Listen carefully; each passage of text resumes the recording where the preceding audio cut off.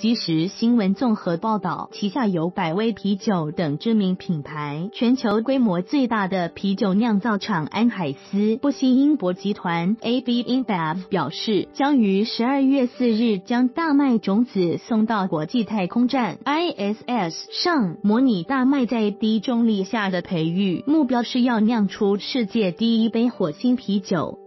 据 Forbes 报道，在今年三月德州奥斯汀市举办的大型活动西南偏南 （South by Southwest） 上，AB InBev 集团宣布将要开始制造火星啤酒。十二月四日，借由佛罗里达州的卡纳维尔角空军基地发射 SpaceX CRS 十三火箭，把二十颗旗下特有品种的大麦种子送到离的四百公里高的国际太空站，在低重力状态下尝试培育麦芽。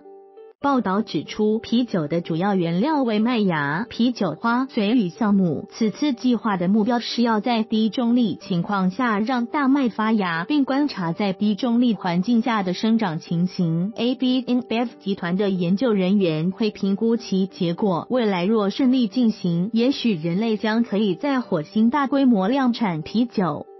而火星的温度约为摄氏零下一百二十五度到摄氏二十一度之间，温度变化相当大。虽然有人可能会幻想这啤酒会相当清凉，但事实上还得面临许多挑战。首先就是保存大麦的温度，并至少要让它发芽并。